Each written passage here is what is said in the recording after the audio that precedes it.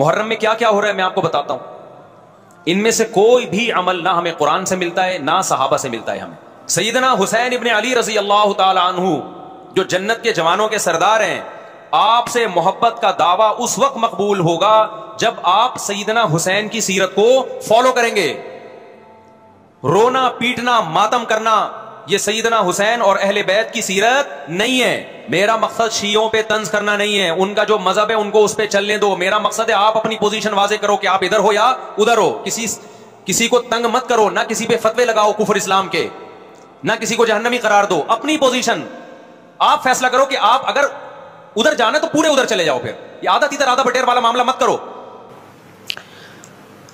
दस मुहर्रम आशूरा का दिन आने वाला है। इस हवाले से आज बहुत अहम बातें करने का इरादा था।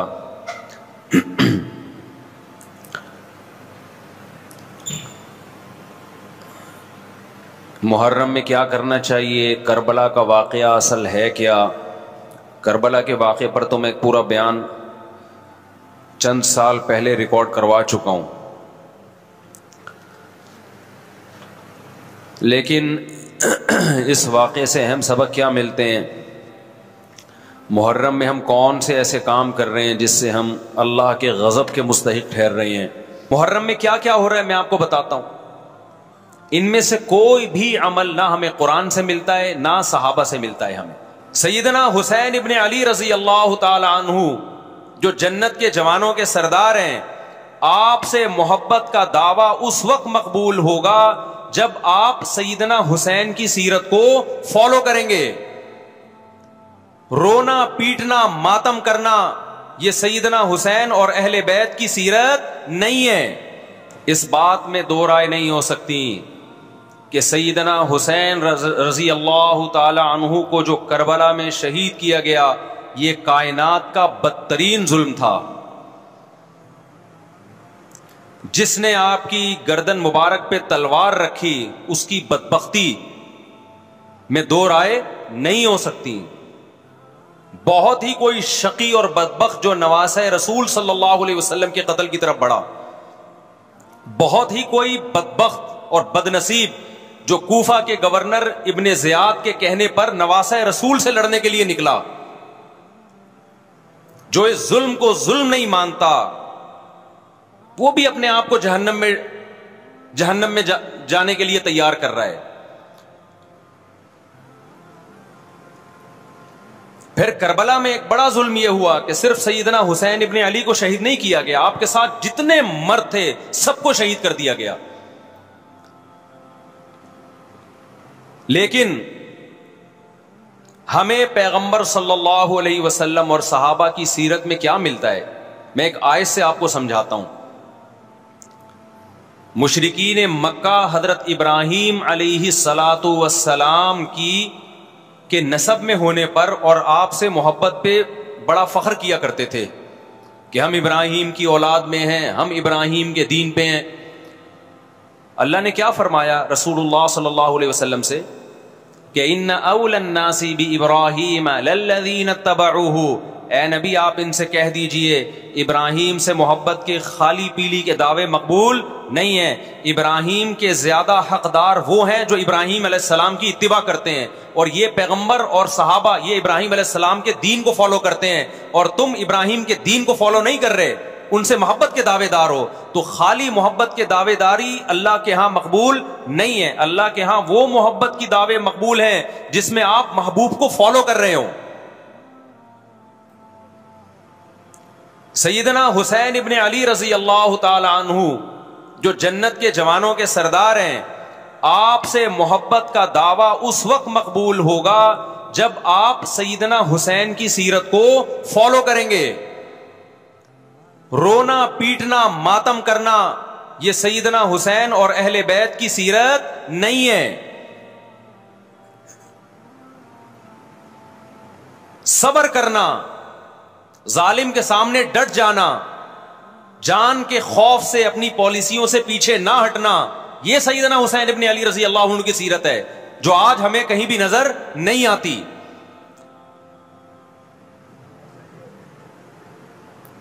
तो हमने भाई, देखना है सहाबा का तर्ज अमल किया था। आप बताओ, सहाबा को सईदना हुसैन से मोहब्बत थी या नहीं थी?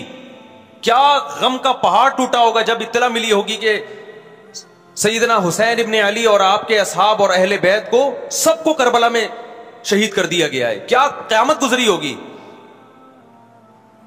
कोफा से एक शख्स आया ना, अब्दुल्ला बिन उमर से पूछने लगा, जू मारने पर दम का मसला। उन्होंने फरमाया, तुमने पैगंबर के नवासे को कत्ल कर दिया और मसला ये पूछ रहे हो कि जू मारने पर दम आएगा कि नहीं आएगा? एक तरफ़ तुमने पैगंबर के नवासे को कत्ल कर दिया करबला में, और अब हमसे आके मसला पूछते हो, जू मारना जायज़ है या नहीं है? साहबा के यहाँ यह गम, कम गम नहीं था। देखो, हज़रत मुआविया रज़ी अल्लाह तु के हाथ पे भी हज़रत हुसैन ने बैत नहीं की, लेकिन बगावत भी नहीं की। क्यों? बगावत से फितने का अंदेशा था। हज़रत हसन, जो हज़रत हुसैन के बड़े भाई थे, उन्होंने सईदना मुआविया रज़ी अल्लाह तु के हाथ पे बैत की और इस इख्तलाफ को हमेशा के लिए अपने, अपनी कोशिश के मुताबिक हमेशा के लिए खत्म कर दिया। खत्म हुआ नहीं हुआ एक अलग बहस है, लेकिन हज़रत हसन का मकसद क्या था कि मुसलमानों की दो जमातों को मैं आपस में लड़ता हुआ नहीं देख सकता। लोगों ने कहा, आप खिलाफत के हकदार हैं। आपने फरमाया, मैं दस्तबरदार होता हूँ, सईदना मुआविया के हक में। हज़रत हसन बैत हो गए हज़रत मुआविया से, और ये इख्तलाफ को क्या कर दिया? खत्म। हज़रत हुसैन बैत नहीं हुए, लेकिन हज़रत हुसैन ने बगावत भी नहीं की। हर की अपनी राय थी, हज़रत हसन की अपनी राय थी। उनका ख्याल था कि बैत होना मुसलमानों के लिए ज़्यादा मुफीद है। एक पावरफुल हुकूमत होगी, एक ताकतवर रियासत होगी, वरना लड़ते रहेंगे आपस में। हज़रत हुसैन का मौकफ ये था कि मैं बगावत तो नहीं करूँगा, लेकिन बैत भी नहीं होऊँगा। क्योंकि अगर बैत हो गया तो इससे जो खुलफा राशिदीन के दौर में जो खलीफा की सिलेक्शन का तरीका था, वो तरीका खत्म हो जाएगा। तो मैं अगर उस तरीके को नहीं ला सकता तो उसके खिलाफ को प्रमोट भी ना करूँ मैं। ये भी एक राय थी। मैं समझा पा रहा हूँ अपनी बात। भाई, राय का इख्तलाफ होता है ना? नबी सल्लल्लाहु अलैहि वसल्लम ने फरमाया इदल मुश्तहिद फ़ैन असाबा फलहू अजरान व इन अख्ता फलहू अजरुन वाहिदुन। जब कोई मुश्तहिद अल्लाह की रिजा को सामने रख के इजतिहाद करता है सही और गलत का फैसला करने बैठता है, राय। यानी उसका मकसद अल्लाह की रिजा हो। तो अगर वो दुरुस्त नतीजे पे पहुँचे तो दो सवाब। गलत नतीजे पे पहुँचे तो भी एक नेकी उसको मिलती है। इसलिए कि उसके बस में जो खैर ख्वाही का के लिए जो था वो उसने कर दिया। राय का इख्तलाफ होता है।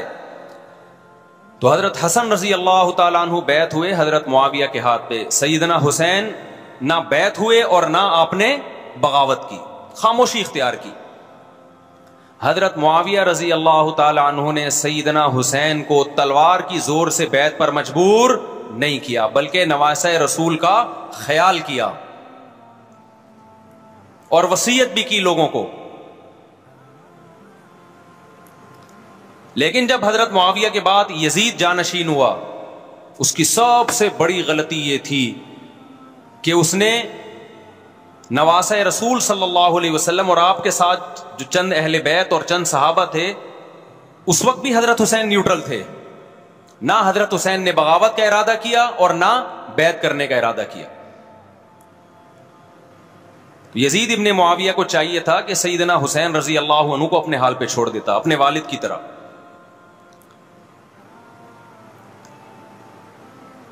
हज़रत हुसैन रज़ी अल्लाह तु को जब कूफा से खतूत आए ये मैं वजाहत इसलिए कर रहा हूँ कि हज़रत हुसैन बगावत के लिए नहीं निकले थे।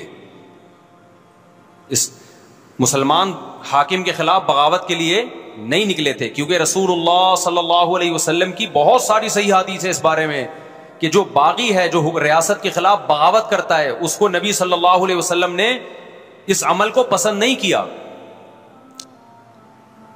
तो हज़रत हुसैन रज़ी अल्लाह को कोफा से खतूत आए। कि यहाँ सारे के सारे लोग आपके हाथ पे बैत करने के लिए तैयार हैं। ज़ाहिर जब किसी इलाके के लोग दारुल खिलाफा हो और सब बैत होने के लिए तैयार हो तो फिर आपका जाना यह बगावत का अमल नहीं कहलाता। हज़रत हुसैन रज़ी अल्लाह तु अहले बैत के साथ निकले, करबला में जब पहुँचे, मशहूर वाक़ आप बीसियों दफ़ा सुन चुके हैं। वहाँ जाके आपको इतला हुई कि वो खबर गलत थी और उबैदुल्ला बिन जियाद ने एक पूरा लश्कर भेजा सईदना हुसैन रज़ी अल्लाह तु को मजबूर करने के लिए कि मेरे हाथ पे आप ज़बरदस्ती बैत हो जाएँ।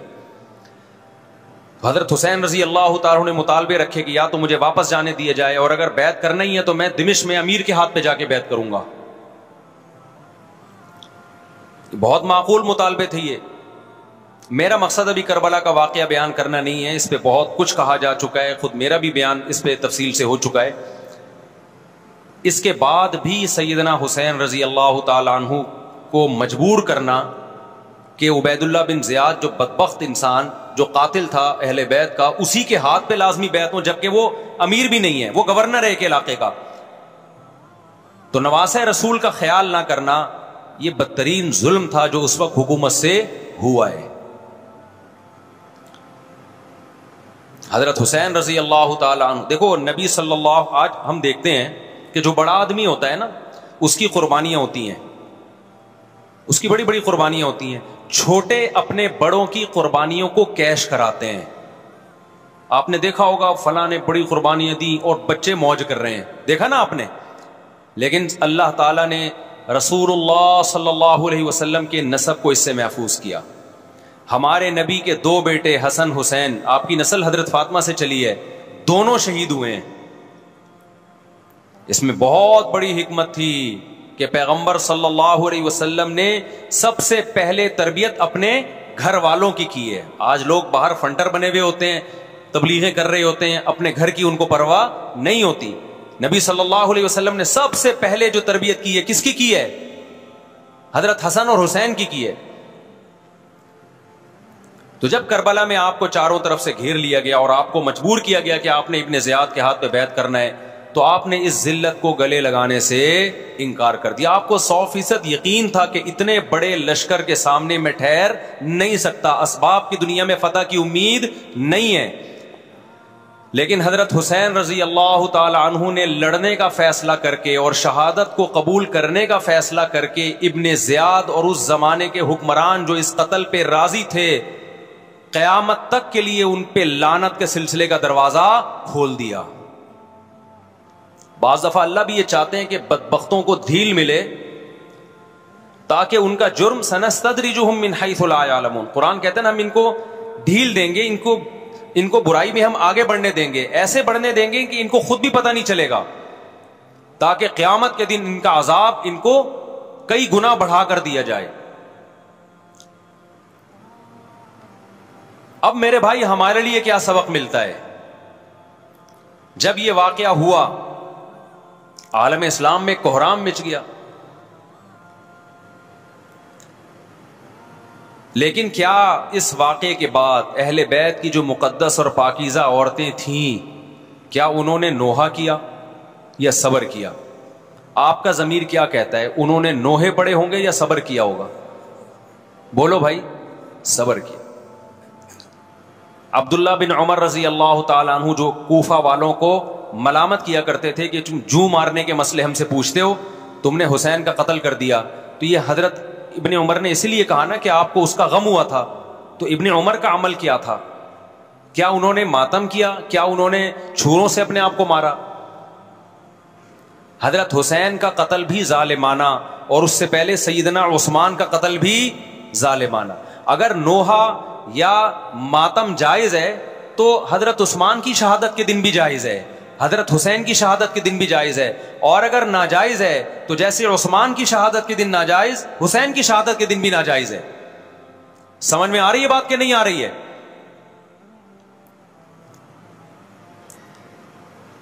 कुरान क्या कहता है ऐसे मौके के बारे में? दिल का उम्मतुन कद खलत, लहा माँ का सबत वलकुम माँ का सब तुम कुरान जब भी पुरानी उम्मतों के वाकयात बनाता है, बताता है, कुरान कहता है, ये कौम थी जो गुजर गई, इन्होंने जो किया, उसका बदला इनको मिलेगा। तुम जो करोगे, उसका बदला तुम्हें मिलेगा। तो हमें अल्लाह ने इस वाक़े में भी बता दिया कि सईदना हुसैन का वाकया, करबला का वाकया जब सुना करो तो ये सोचा करो, ये कौम थी जो गुजर गई। जिसने अच्छा किया, हुसैन इब्ने अली ने अच्छा किया, उनको इस अच्छाई का बदला मिलेगा। और जो हज़रत हुसैन के कत्ल के हाथों कत्ल के हज़रत सईदना हुसैन के मुबारक खून से जिनके हाथ आलूदा हुए, क्योंकि कत्ल किया ना उन्होंने तो लहामा का सबक उनको उस उस जुल्म का बदला भी मिलेगा। तो हमारा काम क्या है? हमने फॉलो करना है हुसैन के रास्ते को, ना कि हुसैन के नाम पे हमने मातम करने हैं। हुसैन का रास्ता क्या है जिसको हमने फॉलो करना है? अब मैं चंद चीज़ें आपको बताता हूँ। सबसे पहला सबक जो हमें करबला में मिलता है कि इज़्ज़त और दीन एक तरफ़ दुनिया है। देखो, अगर हज़रत हुसैन रज़ी अल्लाह तबिन जियाद के हाथ में जाके बैत हो जाते, आप क्या समझते हो, बेतहाशा मौल दौलत हज़रत हुसैन पे खर्च नहीं करता क्या वो? जब एक एक बड़ा आदमी किसी के हाथ में बैत होता है तो उसको भी तो फ़ायदा होता है ना इससे। और क्या हज़रत हुसैन को यकीन नहीं था कि करबला में मैं शहीद हो जाऊँगा? फतेह और नुसरत का की इसबाब की दुनिया में कोई उम्मीद नहीं थी, मगर आपने अहले बैत को करबला में रुसवा करने पर इज़्ज़त की मौत को तरजीह दी है। आज अगर आप में यह जर्फ है कि आप इज़्ज़त की मौत को जिल्लत की ज़िंदगी पर तरजीह देते हो तो फिर आप हुसैनी हो नहीं आई बात मेरा ख्याल है, समझ। सैदना हुसैन की सखावत के वाकयात हैं। सैदना हुसैन बागी नहीं थे रज़ी अल्लाह अनहु। फिर जो अहले बैत का तर्ज अमल क्या था, मुहर्रम में क्या क्या हो रहा है, मैं आपको बताता हूँ। इनमें से कोई भी अमल ना हमें कुरान से मिलता है, ना सहाबा से मिलता है हमें। तो माँ अना अलही व असहाबी, जो जन्नती फिरका होगा, उसकी जो अलामतें हैं तो जब आप उन अलामतों के खिलाफ चलोगे, साहबा ताबीन को फॉलो नहीं करोगे तो आप फिर अपने आप को सुन्नी कहना छोड़ दो आप। बताओ मुझे, इस्लाम में कोई महीना मनहूस है? बोलो ना। कोई महीना मनहूस है? तो आप मुहर्रम को मनहूस क्यों कहते हो? लोग मुझे कहते हैं, मुफ्ती साहब फिरकवारियत फैला रहे हैं। देखो फिरकवारियत जब फैला रहा हूँ, जब मैं किसी फिरके के खिलाफ आपको कर रहा हूँ। मेरे बयान शिया लोग भी सुनते हैं। मिलते भी हैं। बहुत दफ़ा एयरपोर्ट पे मुलाकात हुई, बड़ी इज़्ज़त से मिले। भी मैं शिया हूँ, लेकिन आपसे मोहब्बत करता हूँ। यहाँ मस्जिद में भी आते हैं। मैंने कभी किसी पे तंज नहीं किया। उस, इसलिए मैं बार बार कहता हूँ, जो शिया का मज़हब है, उसको करने दो। वो सबीले लगाते हैं, आप उनको मत छेड़ो जाके। तंग ना करो उनको। वो मातम करते हैं, आप उनको मत छेड़ो। वो नोहे करते हैं, वो नोहे पढ़ते हैं, आप उनको मत छेड़ो। लेकिन आप अपनी पोजीशन वाजे करो कि आप शिया हो या आप सुन्नी हो। आप तो एक तरफ़ हो जाओ ना। मुहर्रम में अगर आप मर्सिए लगा के घूम रहे हो गाड़ियों में इट मींस आप सुन्नी नहीं हो आप। नबी सल्लल्लाहु अलैहि वसल्लम की हदीस है हमारे पास। हम अहले सुन्नत वल जमात हैं, हम सुन्नत को फॉलो करते हैं। तो सुन्नत क्या कहती है? मैयतों पे गरेबान, चाक करना, मैयतों पे चीखो पुकार करके रोना। आपने फरमाया लई समिन्ना वो हम में से नहीं है। और इस अमल पे आप सल्लल्लाहु अलैहि वसल्लम ने लानत फरमाई है। लोग कहते हैं हुसैन की याद में रोना नबी की सुन्नत है। नबी सल्लल्लाहु अलैहि वसल्लम को जब जबरील ने बताया कि हुसैन शहीद होंगे, आप रोए। इसलिए कि उस वक्त आपको ये खबर मिली थी। लेकिन क्या हर मुहर्रम में आपने रोने का प्रोग्राम किया है? या साहबा को बैठ के बाकायदा रुलाया है आपने? क्या हो गया भाई? आपको भी जब करबला का वाकया की खबर मिली, आपकी आँखों में आँसू आ जाए, ये नेचुरल है, ये हुसैन से मोहब्बत की अलामत। लेकिन हर मुहर्रम में बाकायदा बिठा के रोने का प्रोग्राम करना यह हुसैन से मोहब्बत की अलामत नहीं है, बल्कि शरीयत में नाजायज है ये गमों को बढ़ाना। ये कहाँ से जायज़ हो गया? हज़रत उस्मान भी तो शहीद हुए थे, नबी सल्लल्लाहु अलैहि वसल्लम के दामाद थे। उनकी याद में आप रोने को सुन्नत क्यों नहीं कहते? हमारी नज़र में हुसैन का कत्ल भी बहुत बड़ा जुल्म और सैदना उस्मान का कत्ल भी बहुत बड़ा जुल्म था। दोनों मजलूम थे, दोनों मजलूम शहीद थे। हमें दोनों की शहादत पे गम है, लेकिन अब उस गम को मनाते नहीं है। इस्लाम में गम मनाना सुन्नत नहीं है। देखो जाफ़र तैयार रज़ी अल्लाह नबी के चचाजाद भाई अहले बैत, जब आप सल्लल्लाहु अलैहि वसल्लम ने उनको लड़ाई के लिए मैदान जंग में भेजा, रूमियों से लड़ाई थी, हज़रत जाफ़र तैयार की चार बीवियाँ थी, जब नबी सल्लल्लाहु अलैहि वसल्लम मस्जिद नबी में बैठे, आपको फरिश्तों ने इत्तला दी कि जाफ़र तैयार शहीद हो गए। आप सल्लल्लाहु अलैहि वसल्लम की आँखों से आँखों से आँसू। ये आँसू उस वक्त निकले जब ऐन शहादत की इतला मिली है। उस वक्त आंसुओं का निकलना मोहब्बत की अलामत है। आपने साहबी रसूल को भेजा कि जाओ, आपकी जौजात को, बीवियों को जाके खबर दो कि जाफ़र तैयार शहीद हो गए। क्या कुर्बानी थी साहबा की, आप देखो। ऐसे जवान थे जाफ़र तैयार, खूबसूरत जवान। गजबा बदर में जब मुशरकिन मक्का ने यह नारा लगाया कि हल में मुबारज तीन सरदार आए। उन्होंने कहा, पहले तुम्हारे अंदर से तीन बहादुर आए, हमसे लड़े। देखो, अरबों में यह होता था कि जब जंग के लिए दो फौजें आमने सामने खड़ी होती थी तो पहले दोनों तरफ़ के बहादुर तरीन लोगों की लड़ाइयाँ होती थी कि जब तक दोनों में से एक कत्ल नहीं होगा, लड़ाई शुरू नहीं होगी। तो आपको पता है कि इसमें बहादुर तरीन लोग निकलेंगे ना, जो लड़ना जानते हो। मुशरकिन मक्का की तरफ़ से तीन या चार बड़े बड़े सरदार आए। लड़ाई से पहले, बदर में लड़ाई से पहले, उन्होंने नारा लगाया, हल में मुबारस कोई है तुम में जो पहले हमसे लड़े? यानी इधर से हम तीन हैं तो उधर से भी कितने चाहिए? तीन बंदे। इधर से अंसार साहबा आए। मुशरकी ने मक्का ने कहा लई सूबी अकफा इना ये हमारे जोड़ के नहीं है, कुरैशी हाशमी चाहिए हमें। हमारे नसब के लोग होने चाहिए। तो इधर से नबी सल्लल्लाहु अलैहि वसल्लम ने हज़रत अली को भेजा और हज़रत जाफ़र तैयार को भेजा। जिन साहबा को भेजा, इनमें हज़रत जाफ़र तैयार भी थे। हज़रत जाफ़र तैयार रज़ी अल्लाह तु और सैदना अली मुकाबले में गालिब आ गए। खूबसूरत सहाबी, नजाशी के सामने आपने तकरीर की है। हिजरत की है ना जब हबशा की तरफ़? तो नजाशी ने पूछा, जाफ़र तैयार से कि तुम्हारे पैगंबर जो कलाम लेकर आए हैं, वो सुनाओ। हज़रत जाफ़र तैयार रज़ी अल्लाह तु ने सूर्य मरियम पढ़ना शुरू कर दी। काफ हायाइन सौत, ज़िक्र रहमती रब्बी का अबदहू जकरिया इदनादा रब्बहू निदान खफिया, काल रब्बी इन्नी वहन अलअज़्म मिन्नी वश्तअल अर्रअसु शैबा, वलम अकुम बिदुआई का रब्बी शकिया, व इन्नी खिफ्तुल मवाली मिन वराई वकानत इमराती आकिरन फहबली मिल्लदुन का वलिया। ऐसी हज़रत मरियम और ईसा इब्ने मरियम की सीरत को सूरह मरियम में बयान किया। हज़रत जाफ़र तैयार ने कि नजाशी रोते रोते उसकी दाढ़ी तर और जितने पादरी बैठे थे, सब रो, सबकी दाढ़ियाँ तर हो गई रोते रोते। तो ये तकरीर जो नजाशी के इस्लाम का सबब बने, बादशाह को मुसलमान करने वाले कौन थे? हज़रत जाफ़र तैयार। और आपके छोटे छोटे बच्चे चार जवान बीवियाँ हों छोटे छोटे बच्चे हों, और ऐसे में मैदान जंग में लड़ते हुए शहीद हो जाएँ तो पैगंबर और साहबा पे क्या क्यामत टूटी होगी? लेकिन हमारे नबी सल्लल्लाहु अलैहि वसल्लम की आँखों से क्या थे? सिर्फ़ आँसू मोती की तरह टपक रहे थे। और आप साहबा को इतला दे रहे थे कि जाफ़र तैयार शहीद हो गए, और जाओ इनके घर वालों को बता के आ जाओ। कितनी बड़ी कुर्बानी है या नहीं है? जब खबर देने वाला आपकी अजवाज को बता के आया कि जाफ़र तैयार शहीद हो गए तो आपके घरों से खातन के रोने की आवाज़ें आई। आप सल्लल्लाहु अलैहि वसल्लम ने फरमाया, इनसे बोलो कि अपनी आवाज़ को पस्त करो।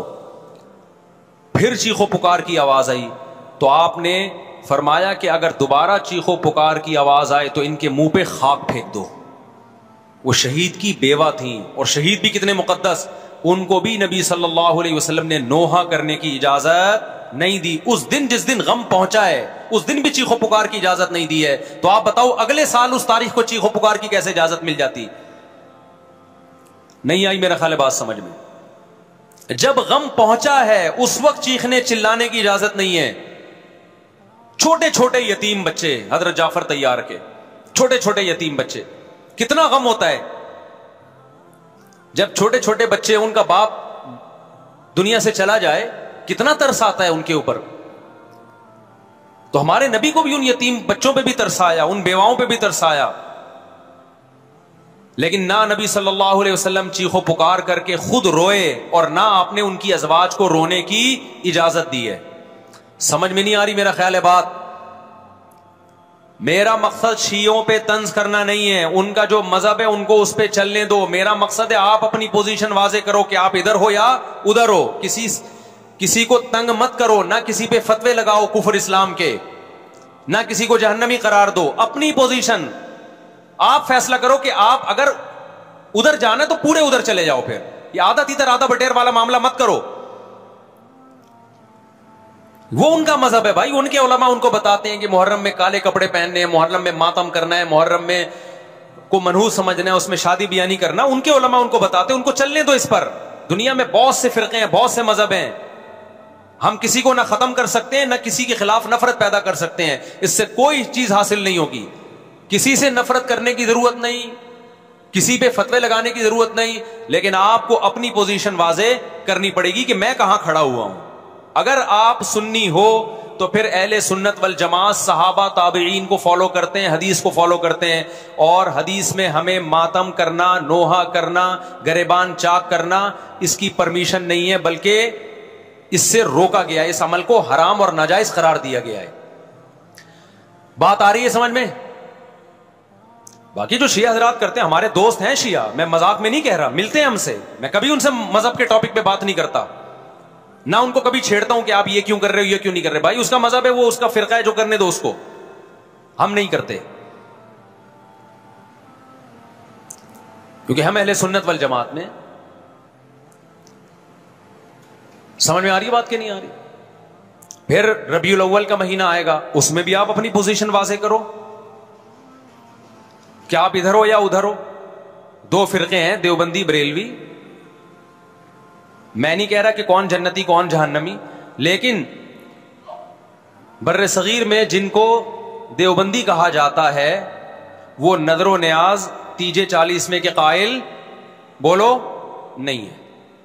उनकी, ये उनकी किताबों में लिखा हुआ है, वो इसके कायल नहीं। अगर कोई बुज़ुर्ग उनमें कायल गुजरा भी है तो उसका जाती तफर्रुद है, उसको ने फॉलो नहीं किया, उसको उनकी इश्तिहादी गलती करार दिया है। रबी अव्वल में जुलूस निकालना।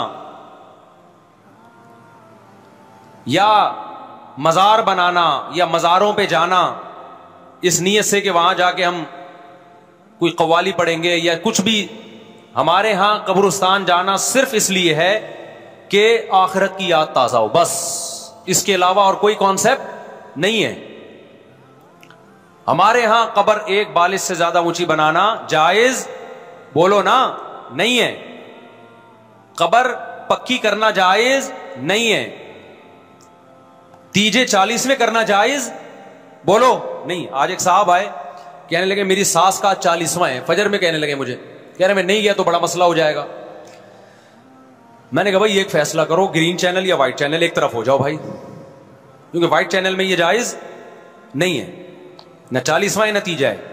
अब लोग मज़ाक उड़ाते हैं, मर गया मरदूद, ना फातिहा, ना दरूद। भाई कुछ भी कहते रहो तो फिर पूरे उधर को हो जाओ। या तो पूरे व्हाइट हो जाओ, या पूरे क्या हो जाओ? पूरे ग्रीन हो जाओ। फिर तीजा भी करो, चालीसवा भी करो, बरसी भी करो। और फिर उसके बाद झंडे भी लगाओ हरे रंग के। मैं नहीं कह रहा देवबंदी सही है या बरेलवी सही है। देखो, मैं ये बहस नहीं कर रहा, मेरी बात को गलत ना लेके जाना। मैं कह रहा हूँ, आप अपनी पोजीशन वाजे करो, सही गलत तो अगला मरहला है। आप क्या हो? आपको तो यही नहीं पता चल रहा। आप रबी अव्वल में हरे झंडे लेके घूम रहे हो। रमज़ान में आप व्हाइट चैनल बने हुए हो, मुहर्रम में आप ब्लैक चैनल बने हुए हो तो पता ही नहीं चल रहा तो है क्या भाई? जब तिहत्तर फिरकों में एक जन्नती है तो एक को फॉलो करो ना, जिसको जन्नती समझते हो। अगर आप समझते हो कि ब्लैक चैनल या शिया फिरका जन्नती है तो पूरे शिया हो जाओ भाई। अगर आप समझते हो बरेलवी फिरका जन्नती है तो पूरे बरेलवी हो जाओ। तो जिसको समझते हो, वो बन जाओ, लेकिन पूरे बनो, अधूरे मत बनो आधा आधा ना लो। बात समझ में आ रही है? मैं फिर बता रहा हूँ, ना मैं किसी को जन्नती कह रहा हूँ, ना जन्न, ना जहन्नमी। मैं ये नहीं कह रहा देवबंदी जन्नत में जाएँगे या बरेलवी जाएँगे या शिया जाएँगे। ये तो अल्लाह फैसला करेगा। हम तो वो करेंगे जो हमारी खोपड़ी में आ रहा है। हमारी खोपड़ी में ये आ रहा है कि जिसको भी करो तो एक को करो पूरा, ताकि एक तरफ़ हो जाओ। आधे तीतर, आधे बटेर, मत बनो आप। और दूसरे को छेड़ो भी नहीं। छेड़ने की भी ज़रूरत नहीं है। कोई जो कर रहा है वो क्या भाई, उसका मज़हब है। देखो, हिंदू मंदिर में जाता है ना हमारी राय के मुताबिक सही कर रहा है, गलत कर रहा है? गलत कर रहा है। लेकिन हम छेड़ते हैं क्या? इस्लाम ने इजाज़त दी उसको छेड़ने की? कि हिंदू जा रहा है, उसको पकड़ के ला क्यों जा रहा है भाई? इस्लाम बोला है, भाई, लकुम दीन हुकुम वली दीन। तुम्हारे लिए, तुम्हारा दिन हमारे लिए। हमारा दिन लायक रहा फिर दीन दीन में ज़बरदस्ती नहीं है। जो जो कर रहा है, उसको करने दो। तभी इस्लामी तारीख में कोई एक मंदिर भी हमारे इल्म में नहीं है कि उसमें हिंदुओं पे पाबंदी लगी हो कि मंदिर नहीं जा सकते। जब तक इस्लामी हुकूमतें रही हैं, हिंदुस्तान में हज़ार साल मुसलमानों ने हुकूमत की है अगर हिंदुओं को मंदिर जाने से रोक देते तो आज ये मंदिर खत्म होते। इस्लामी हुकूमत जब खत्म हुई है तो भी मंदिर, लाखों की तादाद में मंदिर थे। इस्लाम मस्जिद जाने का हुक्म देता है ये चर्च जाने का? बोलो, मस्जिद। चर्च जाने को गलत समझता है, क्योंकि वहाँ गैरुल्लाह की, ईसा इबन मरियम की इबादत हो रही है।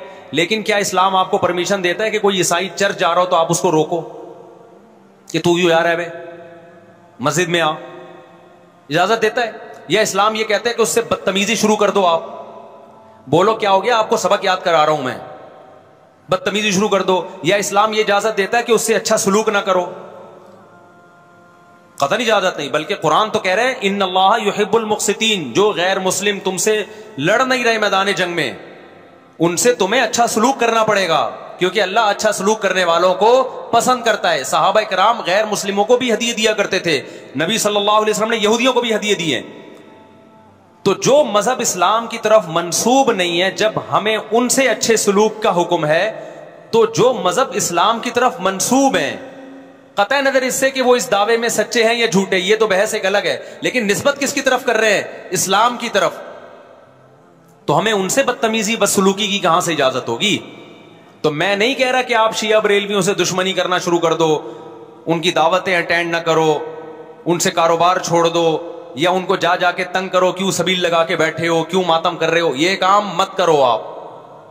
हमारा मुल्क इस फिरकवारियत का मुतहमिल नहीं है से फसाद फैलता है। लेकिन अपनी पोजीशन आप वाजे करो एक लकीर है, आप खींच दो। अगर कोई शख्स आपके सामने साहबा को बुरा भला कहता है, आप बोलो, भाई, ये मेरी बाउंड्री क्या हो रही है? क्रॉस। मेरे सामने आपको उन बुज़ुर्गों के खिलाफ बोलने की इजाज़त नहीं है जिनसे मुझे अकीदत है। अगर ये काम आपने किया तो हमारी और आपकी राहें अलग अलग आपका जो मज़हब है, भाई, आप बंद कमरे में आपके इमाम बारगाह में आपके आपके मस्जिदों में या जहाँ भी है, वो वो आपका निजी मामला है। हमारे सामने आपने कोई ऐसी बात नहीं करनी जो हमारे अकीदे के खिलाफ। तो आपस में दोस्ती रहेगी। अब देखो, ईसाई आपसे मिलता है, आप गपशप करते हो, खाना खाते हो, लेकिन ईसाई बार बार बोले, मैं आपके नबी को नहीं मानता, मैं आपका नबी आप बोलेगा, भाई, तू नहीं मानता तो हमने कब कहा कि मान तू? लेकिन मेरे सामने बार बार क्यों कह रहे कि मैं तेरे नबी को नहीं मानता? यहाँ से आपकी उसकी दोस्ती क्या हो जाएगी फिर? खत्म। तो गैर मुस्लिमों को भी दो किस्में। किसी भी मसलक के लोगों से मिलो, किसी भी फिरके के लोगों से मिलो, कोई झगड़ा नहीं, कोई बहस नहीं, एक दूसरे को खाना भी है, एक दूसरे से एक दूसरे को खिलाना भी है, एक दूसरे से खाना भी है, एक दूसरे की दावतों में भी शिरकत करनी है। जहाँ मज़हब का मामला आए तो फिर आप किसी से बहस ना खुद करो, ना किसी को करने की इजाज़त दो। अगर कोई कुछ सीखना चाहता है तो आप बोलो, भाई ओलामा के पास आ जाओ। आपको कोई इश्काल है तो हम वहाँ आपका इश्काल हल कर देंगे। इससे आगे बढ़ने की कोशिश, बोलो, मत करो। इससे मुल्क में अमन होगा। बाकी फिरके हमेशा से हैं, भाई, आज कोई नए थोड़ी हैं। आज कोई नए थोड़ी हैं, और ये हमारा काम थोड़ी है फिरके खत्म करना। ये तो ईसा इबन मरियम जब नाजिल होंगे, हज़रत मेहदी आएँगे, वो तलवार की ताकत से खत्म करेंगे। उनके पास ये अथॉरिटी होगी कि वो फिर को खत्म करें। आपने ये करना है कि दूसरे के मसलक को छेड़ना नहीं है, और अपना छोड़ना नहीं है। मसला आपके साथ ये हो रहा है कि दूसरे को छेड़ भी रहे हो, और अपना छोड़ भी रहे हो।